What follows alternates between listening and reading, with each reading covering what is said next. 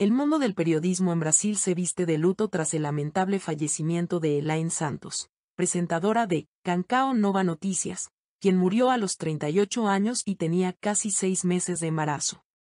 De acuerdo con un comunicado difundido a través de las redes sociales del canal en el que trabajaba, Elaine enfermó de neumonía, por lo que tuvo que ser trasladada al hospital.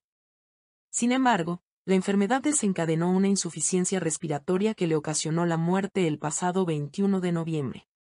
Fue hospitalizada el lunes 20 por la mañana por insuficiencia respiratoria. Con 23 semanas de embarazo, su estado de salud empeoró y ella y el bebé no sobrevivieron, se lee en la publicación. El funeral de Elaine Santos se llevó a cabo el miércoles, 22 de noviembre en Guaratinguetá, Sao Paulo, en donde estuvo presente su familia.